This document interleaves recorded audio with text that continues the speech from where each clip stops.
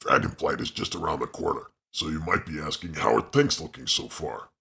Stick around and let's have a chat about how they feel so far in the beta.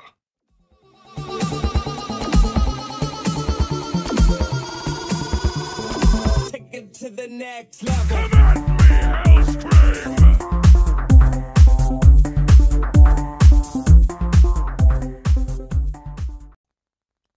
Feel like an unstoppable force like that fancy title you got from running around aimlessly during battlegrounds? Dragonflight is the place to be for unstoppable tanks. They're like Boromir taking a thousand arrows without. Wait, what? He died? Spoiler alert.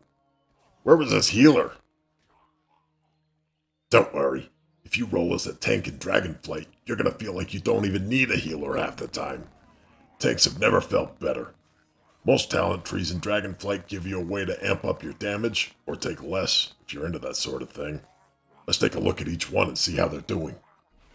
Fair disclaimer here I am not a professional. I play the for the fun of it. I assume most of you do too. So this isn't going to be some kind of weird guide on how to parse 8 million DPS without a weapon on. We just want to know how they play. Who should we look at first? Let's take a look at an old classic. What's so special about an old grumpy bear who chain pulls the entire dungeon, then blames the healer for getting everyone killed? Yeah, they're still gonna do that. But this time they're gonna do it Moonkin style. I mean, one of the options they have is using a lot of Moonfire. Moonfire can pull, can be a big DPS bump, and now it even heals you. What? Yep, now you can increase your arcane damage dealt and have it heal you for 30% of the damage it deals. Not to mention the fact that if you take the Guardians of the Galaxy talent, it'll do a ton more damage and generate rage as well, so you can keep up on that Iron Fur. Bear Tank didn't have as much damage as some of the other ironclad sausages we'll talk about later, but you should have no issue keeping the trashies from sending your healer to the maw.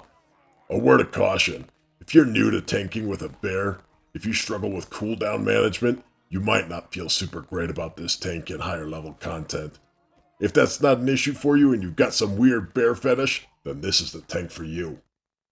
Okay, who's next? Death Knight. The core of Death Knight hasn't changed much. Get yourself down to about 20% health just to give your healer a heart attack, then patch it up with a single death strike. Rinse and repeat. Yeah, incoming damage can still feel a little spiky with these guys. On the bright side, you have more than enough self-healing capability to call yourself Deadpool and feel like the only thing wrong with you is how your face is. You can choose to take AMZ if you're feeling generous, or if your raid leader runs your whole life. Or you can just leave everyone else to fend for themselves when an elemental comes to blast you into oblivion. You also have grips for days with these talent options. You get A-Bomb Limb, Mass Grip, two grip charges. Get over here! Oh yeah, that takes me back. The big downside to DK right now is the damage feels a little low. Maybe I just suck at putting out, but it didn't seem to compare to the other tanks. Devs are working on tuning, so we'll see if that improves. Moving on. Monk. Okay, here's the tank for those of you who grew up thinking you were the Green Ranger. If you're just coming off of a keg smash healing high, unfortunately that set piece is not going to be carrying through. But don't worry, you can still impress your Kimberly by having every defensive CD known to monks on your action bars.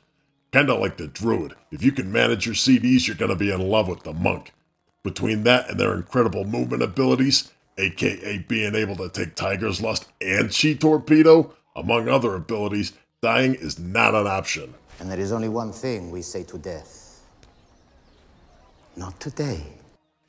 Mistakes don't mean the end of a dungeon run for a monk, and trust me, I make my fair share of mistakes. But on top of that, your DPS are going to be happy because they can get up occasionally to check on their hot pockets without anyone noticing, because monks are packing this X pack. Paladin. Oh, look at these pious pricks. Yup, paladins are back with about as much narcissism as a giant orange Cheeto. I never understood why people got so upset over a Cheeto, but whatever. Paladins are still pretty close to the top of the ladder in my opinion. Damage is still pretty high despite some recent nerfs. I like that you can take both Divine Purpose and Seraphim, and that you can make Avenging Wrath do just about whatever you want it to. You also get some legendary abilities that'll carry over, including Mad Paragon and Bulwark of the Righteous Fury. You know, the one that makes your Shield of the Righteous do more damage. You also have the Legion artifact ability and Divine Toll coming along for the ride. There's a lot of different ways to run a Protection Paladin, and it looks great. Demon Hunter. The Bat Boys and girls are back with a vengeance! Having access to the Hunt, Elysian Decree, and Fel Devastation gives them endless AoE damage options, and that doesn't even cover the Spirit Bomb that takes the bad guys to Pound Town. The Soulmonger talent really helps give the healer time to focus on the standing in the fire looking for a haste buff by giving you a passive absorb ability. So if you collect souls like Amber Heard collects haters, you'll never die. I also like that you can choose to take as many or as few sigils as you want, depending on your situation.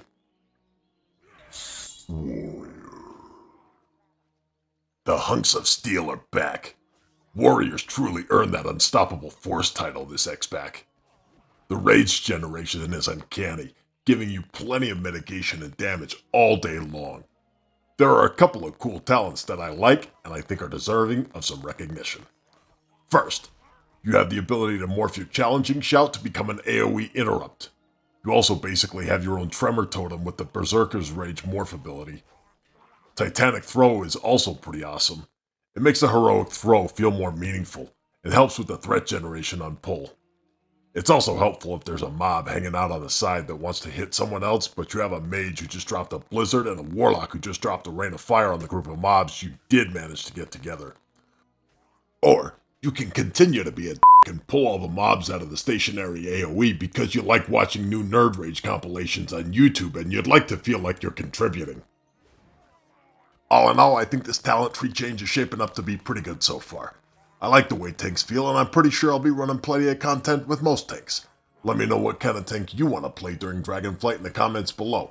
And don't forget to kick the like button in the kneecap and subscribe to see more of this stuff.